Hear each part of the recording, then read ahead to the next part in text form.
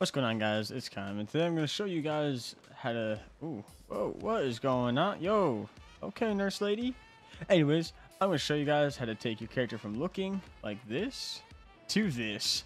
Now, I know you're thinking, right, like my girl always had a wide face, but like this is a bit much, and I agree. Now, in this game, stretched res doesn't actually give you any more vertical FOV.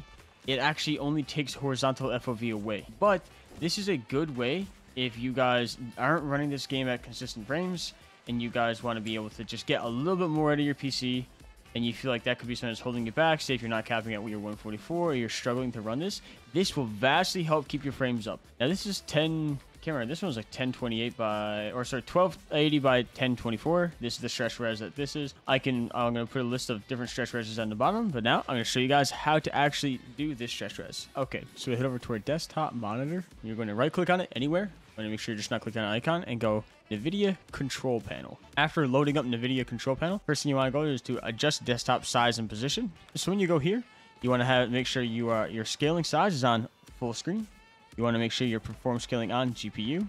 Override the scaling mode is off. And then you can see your resolution. This will just normally be 1920 by 1080. You can see that's my current. It just says this because when I tabbed out, that's what I closed the game on was 1600 after switching my resolution. So I'm now going to go to change resolution. So the way you add a custom resolution is after clicking your monitor, make sure your hertz is up. You always want to make that. I have two monitors. This one is the one I play on, the 240. So now what you want to do is you want to come down here to your resolutions. And this will be the majority of your resolutions all up here. The base canvas resolutions, which are 16 by 9 and 16 by 10 aspect ratio. You want to hit customize. You want to enable resolutions not exposed by the display. You can see there's different ones here. Then I want to hit create custom resolution. So for this video, I'm going to make a 1154 by 1080 custom resolution. And then you want to have your refresh rate set to 144. Scan type progressive. And the rest you can leave it automatic. It'll set everything else. You hit test. And you can hit yes. That way it will save.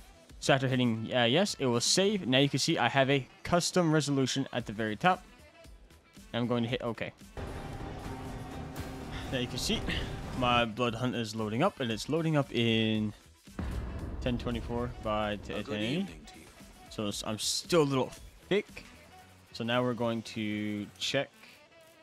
We're going to go to graphics, basic. Now I put in 1154 by 1080. So we're going to keep going to the side until we see my number pop up. 1154 by 1080. We're going to hit apply. Keep the changes, yes. Confirm.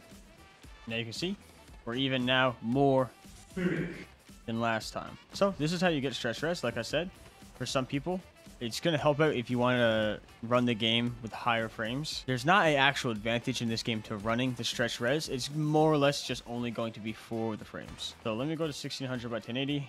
This is, would be the stretch res I would recommend people to play on.